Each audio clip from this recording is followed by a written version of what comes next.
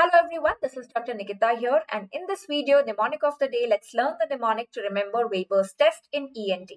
The rest of the hearing test and important ENT flashcards we would be seeing in the 5 p.m. free live class on the app.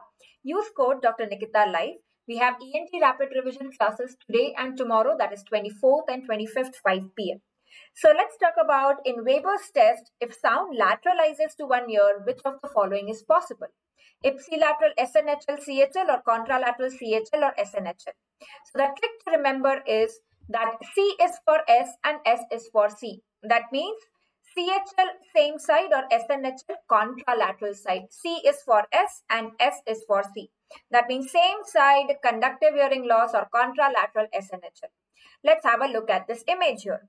This is how the Weber's test is performed. The tuning fork here on the forehead and we see if it is normal, both ear would be equal. If it's lateralization, like in this case, going to the left ear, C is for S, conductive same side, left lateralization means left conductive hearing loss or contralateral SNHL, that is right SNHL it would be. So remember conductive same side as the side to which it is lateralized or it is contralateral SNHL. So basically it is conductive same side, ipsilateral same side or SNHL contralateral. So the correct is 2 and 4. So the correct option is B. Here's an assessment question for you. Do let me know the answer in the options uh, in the comments below. If in Weber's test, if sound lateralizes to right ear, which of the following is possible? Multiple options correct.